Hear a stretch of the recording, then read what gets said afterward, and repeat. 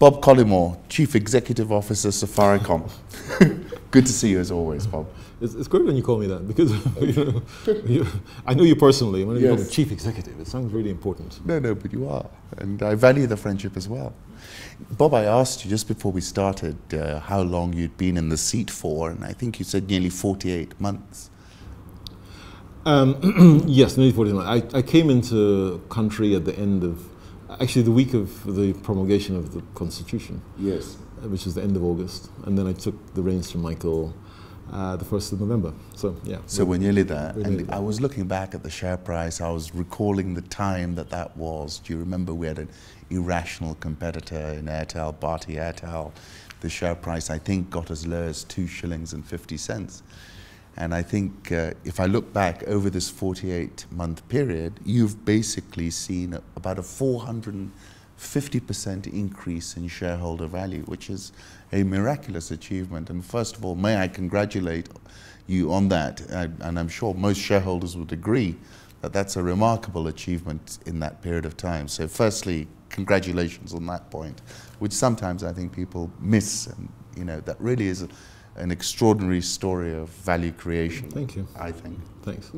Thanks. Bob, you know, if, if we look at it big picture right now, I mean, if I can just slice and dice a little bit of the earnings uh, segments, voice, people used to talk about voice being dead, dead as a dodo, it's gone, it's history. Your full year results, we're still talking about 60% of revenues coming out of there, double digit increase year on year. How do you characterize the voice landscape today? I think in large parts of the world, voice is uh, voice is still something of a dying, a dying breed. Um, as I look at a lot of other operators, voice is on the decline. It's on the serious decline. Uh, we've got our half-year results. Actually, we're a day short of half-year, so after tomorrow we're in a closed period. But um, we're still seeing voice growth, and we had predicted it at the full year. And they're kind of um, one or two reasons for that. One is that we've just got more customers coming in. Yes. Um, uh, we've got a lot of young people who are achieving, you know, um, earning age. Let me put it that way. Uh, so customer growth is still pretty, uh, pretty solid, um, and you know, voice pricing is still is still quite low. We used to be the lowest. I, I was in Dar es Salaam last week and Yes. discovered that uh, they are on rock bottom prices. You know, Is they are at right? one U.S. cent a minute, uh, and that's Is there any reason for that? Is- Um, price war, um, a price war which was started, and now they don't know how to stop it, and that you know that can't go on. I remember what you did with the price war, which was actually go against the trend and decide to lift prices because you said it was unsustainable. yeah, it was a phrase we use a lot, unsustainable pricing, and we've seen that play out some three or so years later. You know, you've seen Yu Mobile uh, run into problems. You've Yeah. seen uh, Orange not able to turn that thing around. Um, but I, I think we're the only operator that, that's making a profit. A- And really, uh, unless you talk tabloid, uh, you have to run a business in a sustainable way. You have to make a profit, or else you're not going to be around next year. No, sure. And what was the secret to your success? I mean, uh, uh, your, your competitors seemingly couldn't make a fist of it. You've made a tremendous success of it. What would you say was the secret of your success? Because, as you said, you're not the cheapest offering in that field at the moment. I think there are a few elements to it. Um, the brand is a strong Kenyan Yes. brand. And the, it's, it's a strong Kenyan brand because uh, we've been investing in this brand for 14 years now. Incidentally, we, we are also coming up to our, um, next month, we're coming up to our 15th anniversary. Um, but that, you know, that, that brand was built because we are relevant to, to Kenyans. We use the phrase transforming lives to define our, our purpose. And so, yes, we do make a profit, and you, you open up by talking about the numbers, but we make a significant difference to the ordinary Kenyan, you know, at the furthest reaches. You know, my colleague, um, uh, has just come back from Dadaab uh, last night, and, and I, I'm due to go there in the next, uh, next few weeks. So we go as far out there, we make a difference to them. And so it was that brand strength and that brand relevance, I think, which, uh, which, which took, us, took us through. Also, we've also been pretty transparent. Yes. You know, and we say we, we don't do things which doesn't make any sense.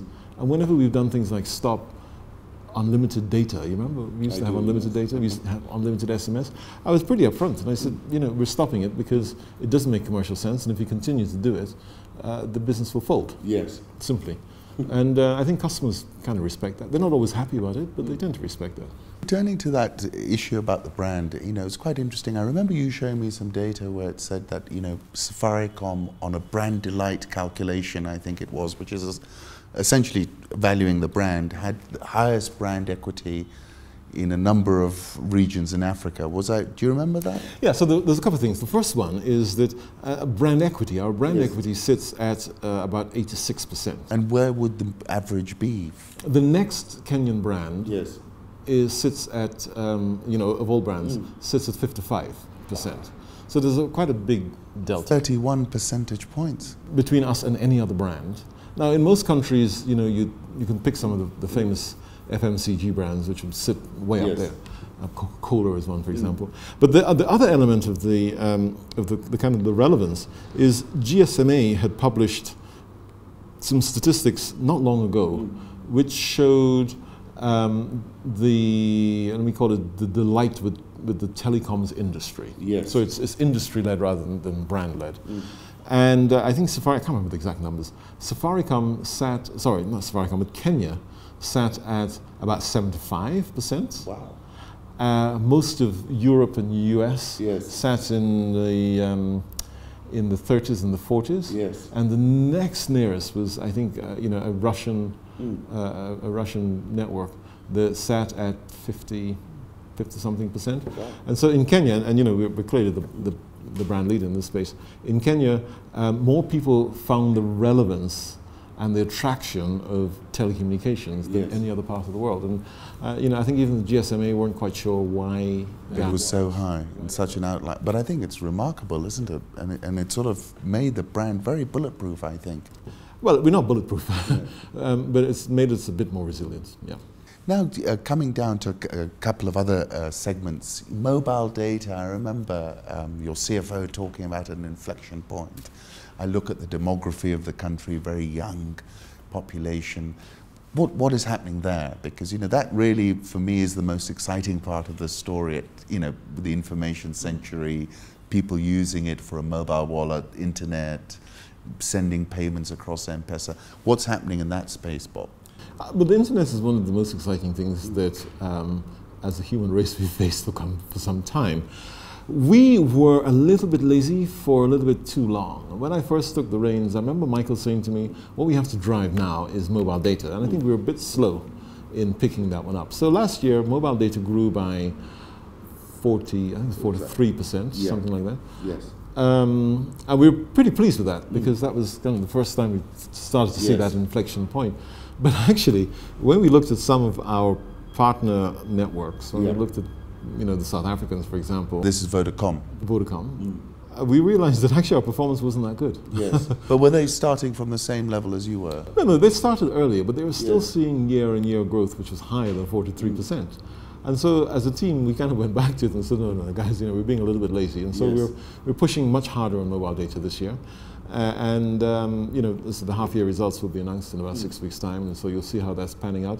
But the real things which are driving that Yes. is uh, is smartphones. So if you go into one of our Safaricom shops, you'll see that we don't sell, we only sell smartphones. We don't sell any ordinary, you know, all the, the days of the Kabambe's gone, right? Yes. Um, uh, currently, we're running a, a fantastic promotion with, with Samsung, for example. Yes. That's helping to drive smartphone take up. And we find that once you move someone, even from a, a feature phone, Mm. you know, and a feature phone would be like a BlackBerry. Yes. Even moving them from a feature phone to a smartphone, the average revenue generated by that customer Yes. multiplies by can multiply by as much as four times. Is that right? Yeah, because you know what you've got a smartphone, Because you're, you're, you're being more compulsive. much more utility. You know, you want to check the weather. You want to check. You, you will be checking share prices Yes. constantly. Yes. I do. Um, uh, you know, even if you're sitting, you know, sometimes you're sitting in And the in the cafe and you hear a piece of music and think, "What is that?" And then you go into right. SoundHound, and so there's a lot more utility, and uh, and young people are, are using it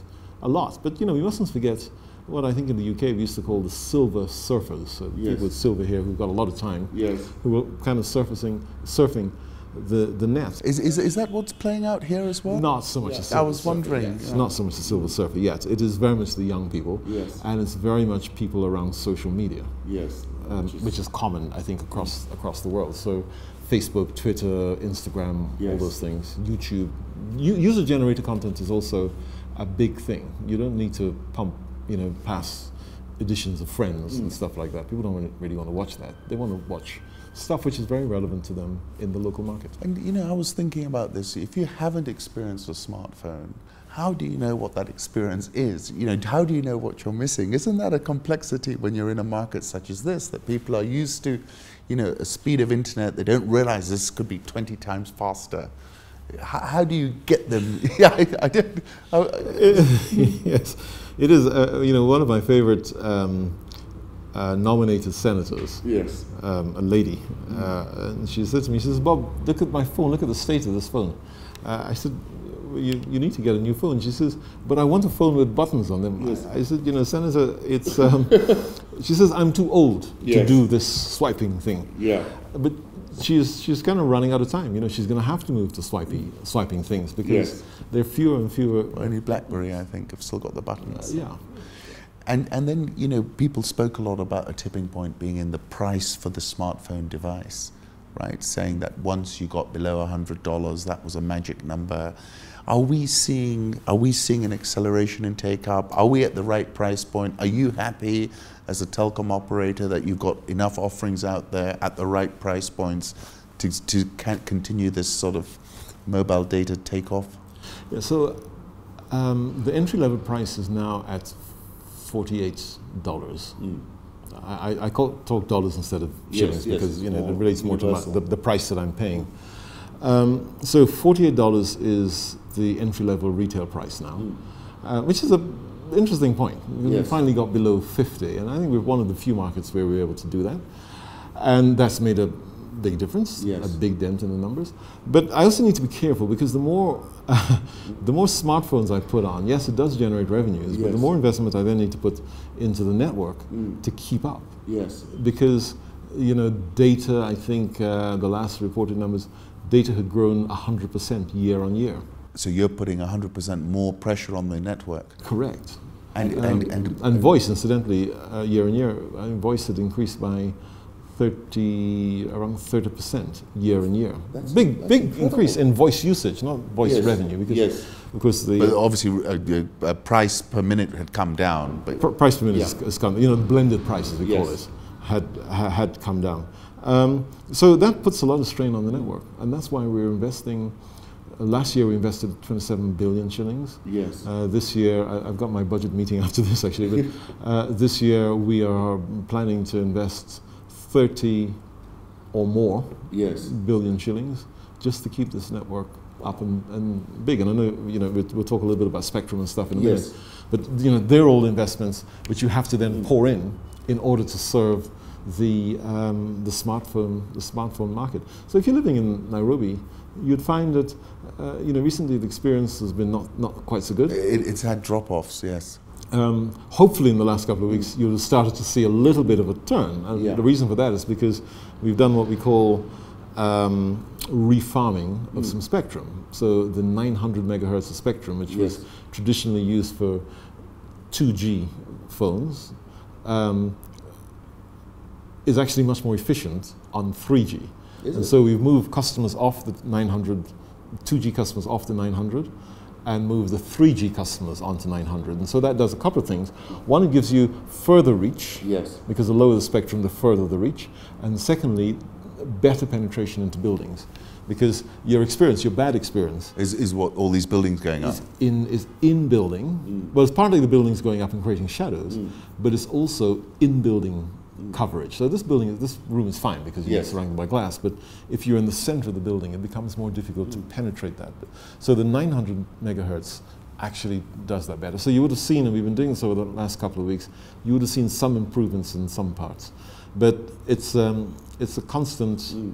it's a constant battle, and um, but it's a good, good challenge to have. Absolutely, you've got growth, right? I mean, that's far better than not having it and managing something else. If I can, if I can now j- just touch on quickly message revenues, which, by the way, at the full year mark, were up 34 0.19%. And this was in a world when everyone's talking about WhatsApp and talking about all these new instant messenger functions. How did you manage that? Well, um, the penetration in smartphones helped mm.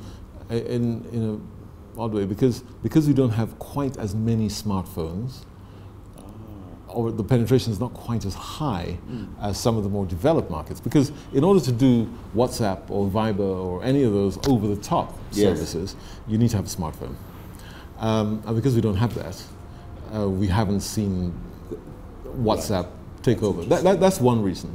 Uh, but you, you, know, I mean, you and I use WhatsApp all the time. Yes. Um, when I'm talking to you, I actually talk to you on WhatsApp that's, that's right. over because it's kind of a bit more convenient, a bit richer. Uh, but the other reason is because our SMS pricing is actually quite low. Yes.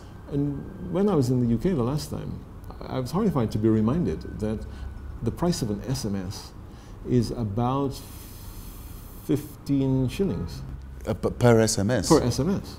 Whereas here, you can pay Safaricom. I think you got bundles for 20 shillings. We got bundles. We got bundles for five shillings. Mm. You pay five shillings and you get you know, you get a, a, number of SMSs. You pay 10 shillings and you get 200 SMSs.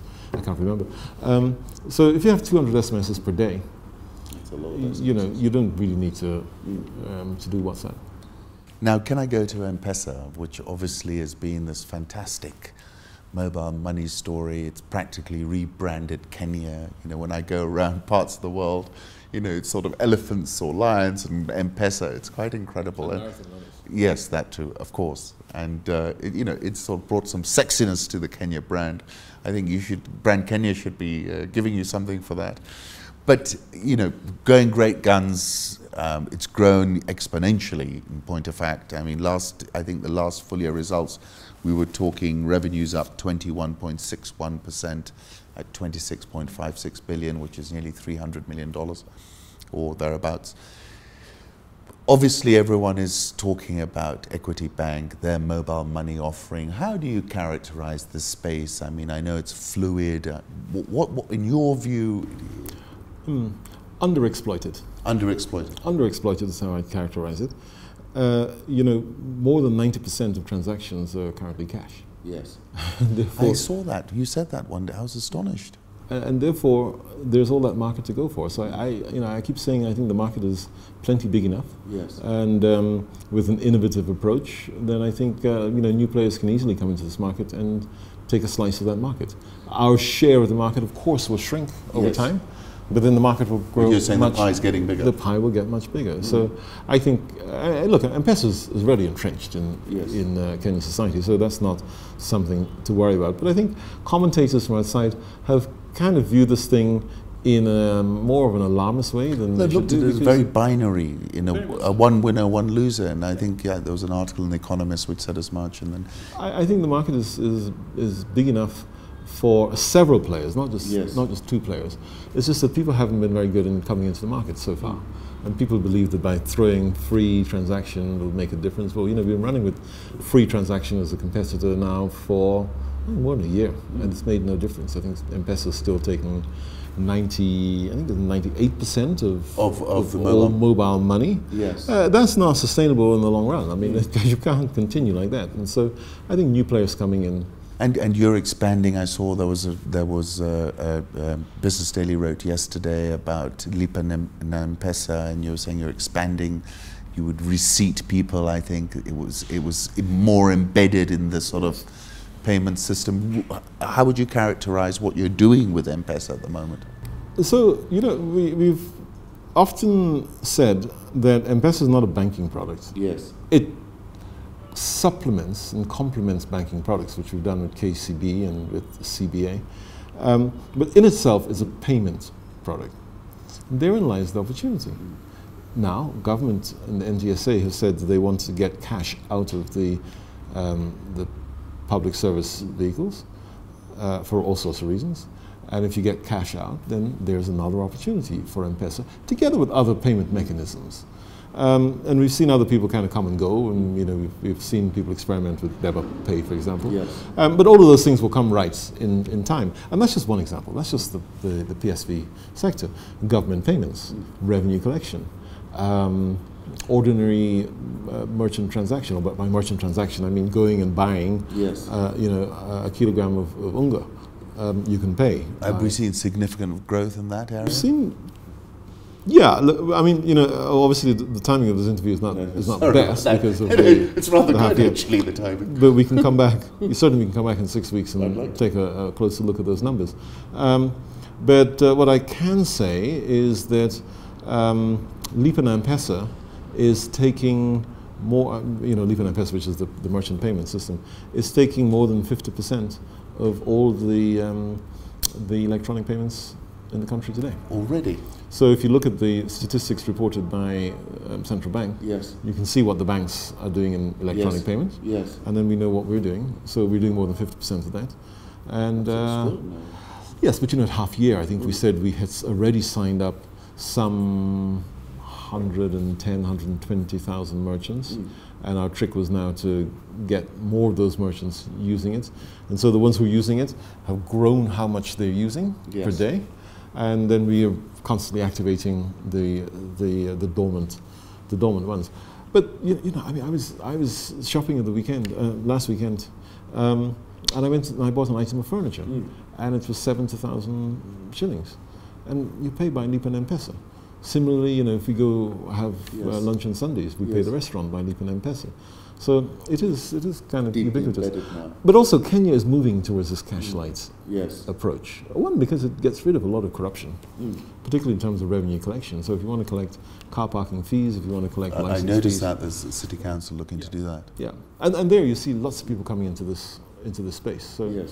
um, the space wasn't designed just for Safaricom; it was designed for mobile money. What about this area, you know, for, for this intersection point between telecoms and banking? I mean, why aren't you telling me, Aly-Khan, I'm going to open a bank now, for example?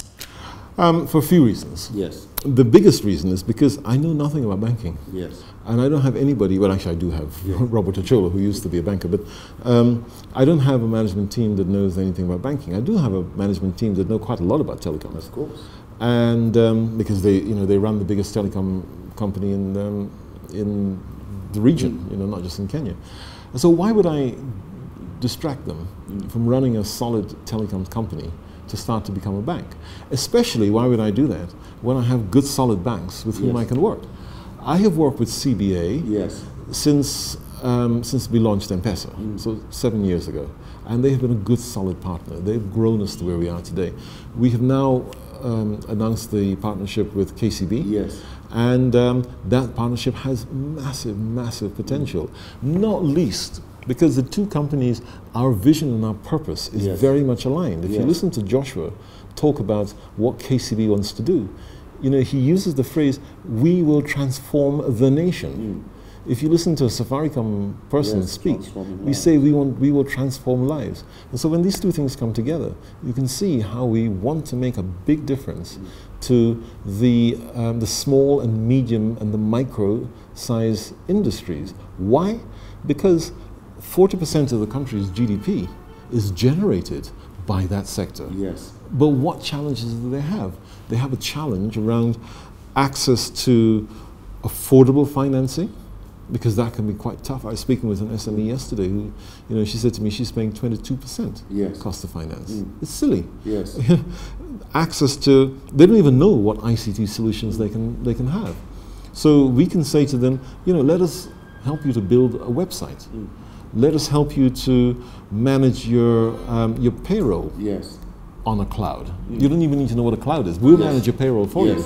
Let us give you some accounting software, which if you bought it yourself, number one, you know, you just need to focus on what you're doing as your core business, not Yes. trying to run.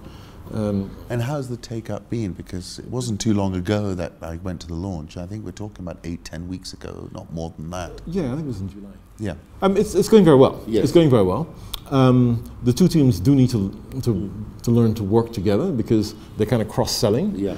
and um, but we've got a lot more to announce. You know, there, there's, there's things in the pipeline. Obviously, we didn't announce the partnership without having stuff in the pipeline. So we have things which we will be announcing in the coming um, in the coming months. But the I I'm very pleased with how the two teams are working. Um, you know, Oigara and I have a kind of common vision. Yes. Uh, I think we have a Well, similar. I think you're both collaborators. We have very similar management Yes. styles Mm. as, as well. So we believe in the power of collaboration. Uh, and we ultimately believe in that thing, which is how do we transform our country? Yeah. How do we move our country into a proper middle income state? Yes, well, you saw the news today, didn't you? Um, uh, the, did you have any more money in your pocket yesterday? Yeah, that's what uh, I said. today, It's yeah? no silver bullet. It's not so, but, but so we know a number of the things which need to be done. We know that access to affordable capital is really, really important. Access to ICT as an enabler is really, really important.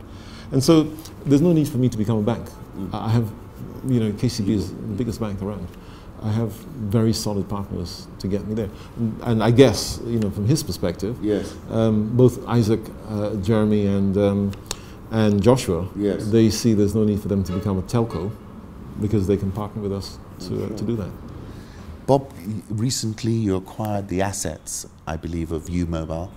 We will acquire because we're still subject to regulatory approval. Um, uh, there was a bit of confusion I noticed when that deal was announced, particularly across social media. Do you just want to tell tell us exactly what you're buying in that Yu Mobile transaction? You, I think the people and the subscribers.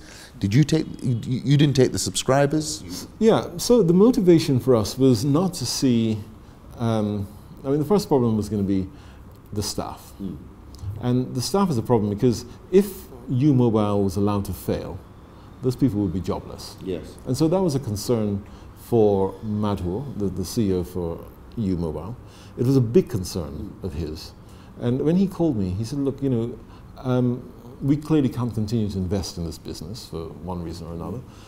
Uh, and so the, a, a, a three way discussion started um, between me, Madhur, and um, Manoj, Manoj Kohli, who, Yes. who was responsible for, um, for Airtel's telecom business at the time. And we said, you know, it would be wrong for us to allow this thing to fail. There's some assets that we need. Yes. So spectrum is something that we need. We talked about the congestion in the network at the moment. Um, so spectrum we need. And So this spectrum is as deployable as extra capacity for you, is it? yeah. So you can do one of two things in order to build capacity. You can build more towers, Yes. and that's tricky. It's very difficult to get sites to build Yes. towers. It's not the it's not the cost of the towers. We've got a lot of money to do that, um, but it can take eight months sometimes just to get permission Yes. to put up a tower, and that's a long time. You, you know, you've got customers who are suffering. So, um, the sp- so you either build more towers or you build more spectrum. So ideally, actually, you get a mix of the of the two. Uh, and so he has spectrum in the 900 megahertz. Yes. talked about that, reaching much further. Yeah. And he's got spectrum in the 1800 megahertz, um, which we can also use. Then there were the towers. Now, of the 400 or so towers, they're not all useful to me. Yes. I think there's probably about 200 which would be, which you know we can use. You're, you're taking over the towers. We were taking all of the towers, Yes. and we're taking all of the buildings, Yes. and, um, and, and they've got a data center, for example, which would be useful to us. Uh, but also critically, is we provide employment for about 150 of the staff, Yes. um, which leaves them, I think, about 40 or so. I think Airtel are taking a few as well, not not that many, uh, but at least it provides some security to those people. And you know, th- there is a shortage of uh, shortage of um, of resources In, in your space. yeah, uh, particularly in the technology space. And so that's very useful to us. We, Yes. you know, we look forward, once the transaction goes through, we look forward. When do you expect it? When do you expect that? When do you expect to be welcoming them? I think um, the Communication Authority gazetted it last week, Friday, I think, and it takes 30 days when they invite comment. Uh, and soon thereafter, we should be heading towards closure. We also need approval from the Competition Authority as well. And what Airtel then takes is Yes. Airtel takes the license, Yes. because their license runs out in the next few months. Ah, so they're going to operate under that license. So they will operate under the Yu-Mobile license, and uh, they take the customers. Yes. So they will take about two and a half million million customers. And the other reason for that is because if you wait for Airtel to build their own critical mass, Yes. you know, you, you, you kind of need, honestly, you kind of need 25% market share before you've got a critical mass that makes sense. I- In this market. In, in any telecoms market, Yes. You know, you would be fooled to be buying a, a company that's only got 10% market share because it's going to be an uphill struggle. Yes. I mean, people keep going on about the dominance of, of Safaricom. It's not because Safaricom does anything um, wrong or Yes. indeed particularly right. It's just that the others are too small to make, to make sense. That's interesting. And so it then increases their market share hopefully to around 25%. Right. And then, you know, it's, it's then a, a, a competitor that's much more, much more robust, if you like. So that's how the thing is, is split. And there are a lot of rumours about Telkom Kenya as well. They're on the shopping on the shop uh, on a go shop list, are they at the moment? That was the I believe they are. They are. I, I probably don't have any more information than you do, um, but they've made it very clear that they are looking for buyers, and I, I think you know there are lots of rumours about um, different consortiums and stuff that's, um, that's looked at this. But you think something will happen in, in the I, I I think France Telecom have said that they, Yes. they would like to exit, Okay. and Yeah. it's not been a great relationship between the shareholders No, there. So. I gathered that. Now, also, um, uh, we've had all this sort of uh, hullabaloo and discussion in the news about Safaricom's security contract with the government. I mean, I would have thought you've become a very central figure in all of this when you listen to what everybody's saying. What's the state of play with that? And first of all, what was that about? I mean, what were you providing to the government which was of value to them? And what were they providing to you? It's very simple. We're, we're building uh, a distinct network for them, which works on a different set of frequency at Yes. 400 megahertz. Um, and And there's is it no, secure at 400 then? it's much more secure. Yes. It's, it's an LTE network, and we don't even have an LTE uh, commercial deployment here. So the level of encryption on LTE is much greater than on 3G. Uh, and then there's no commercial deployment, so no one else can use it. It, it can only be for, for the government of Kenya. So we'll build that network Yes. um, in two cities, Mombasa and Nairobi. We will then provide um, handheld units. And the handheld units are like ultra smartphones. Right? So they have video capability, voice capability, remote activation capability, Yes. so you can turn it on from a central place. So this could be transformative. For It is police intended to be transformative, Mm. yeah. It's intended to be transformative. And then we'll put up a bunch of cameras. Yes. We're still trying to figure out exactly how many cameras, um, but uh, a few thousand cameras in strategic locations. All hooked up. All hooked up to a central control unit, which again we will build. So it's about building that and it's about Yes. managing it, not operating it. Yes. And when I say operating it, we're not the users. The Yes. users is, is the security s- services, you know, the police and, and whoever else. Um, and so it is no different to building any other mobile network. In fact, relatively small compared to the 4,000 sites or so that we, we have today. Um, that will be uh, around about 80, 80 to 100 sites. Um, and that's it. And we provide, we provide internet connectivity to a, a couple of hundred police stations as well. So um, it's, people say, you know, you become a, what does Safaricom know about being a, a security provider? But, you, but you're not the operating. You're not operating. we're not, we're not doing a security thing. We're building a network. And there's nobody, you know, and forgive the, the, the kind of arrogance, Yes. but there's nobody in this country, or there's nobody in this region Yes. who knows more about building a network than Safaricom. Absolutely. So that was why the government came. I think the other reason why the government came was because they felt that, you know, if the, there's no way the Safaricom is going to get involved in any kind of unethical deal, Yes. right? Yeah. Number one, I sit on the UN Global Compact board. Yes. I'm one of the board members who is charged with driving ethics and corruption in business. Number two, we've got another shareholder Yes. who is a British company, Mm. and you know that's, this means we're governed by the British anti-bribery law. Which is very And if you think that the Foreign and Corrupt Practice Act is, is harsh in the UK, in the US, Mm. Yes. the UK is a lot worse. And so clearly we can't. And you, I mean, you know my position on, on ethics. And so Very I think strong. government felt that, you know, if this contract went to at least, um, you know, it will be managed ethically and competently. Of course, politics, um, politics has a life of its own, and has consequently delayed the project because nothing uh, really happened between, I think, June, Yes. when the hula baloo started, and uh, in August, when Parliament finally gave their approval. Um, but then now we now go into the negotiation of the contract because the contract have not been signed yet, and it will be four months elapsed time before we Yes. start to see. And the we start to urgency around it was around counterterrorism. Was that the drive? It's terrorism, yeah. It, it's it's it's counterterrorism as well as um, you know ordinary safety and security. Of the citizen. Uh, so I mean, you know, you've been a victim more than once Yes, of street side crime Yes. um, in very prominent places here. That's right. Uh, so you know, it, it kind of closes a lot of that stuff down. You you you lived in London, you know what it was like before they put Uh, security cameras in Oxford Street. Now you can walk with Ox- in Oxford Street with your your wallet in full view. No one's going to take it because they know they're being watched. Bob, now can I? I know uh, we got a, time uh, time constraint, but can I just go back to things like some of the number issues, if I may? Revenue last year, full year, was up 16.4% without putting any numbers. You know, are we on trajectory here for a similar outcome, do you think? Or is this a more, uh, are there more headwinds this year? Um, well, there's uh, there's certainly headwinds. Yes. And uh, you know, if you spoke with the people in the hotel industry, Yes. you can see how the, the, the headwind Yes. is. I was in Mombasa um, two weekends ago, and um, the weekend before that, I was in the Mara, and you can see occupancy levels sitting at 20%. So, So economic activity levels, you're economic activity levels has been a has been a challenge. But having said that, you know, we give some guidance at Yes. the full year, and we're sticking with those guidance. So Okay, we're pretty confident. That was pretty confident guidance. Uh, yeah, so you know we're not expecting to see much in the way of variation there. And then, you know, people love your stock because of the dividend, yeah, including my father. And say he will, he will kill me if I don't ask you. You- know, he says, is his dividend intact? And do you see that trend of, you know, you, you've had a very high dividend payout ratio, you've spoilt some shareholders. Is that still intact? Or, you know, you're talking about capex expenditure. Are we going to have to move some money into things like that? No, I mean we uh, uh, the dividend is we've kept a bit of money back, uh, so we're paying out 85 percent. Yes. And I mean, you can see some of the things that we need to pay for. I mean, Yu Mobile has come up. Um, the capex on uh, on the police project, uh, when that finally comes through, it'll be back back end of the year, or maybe even next year.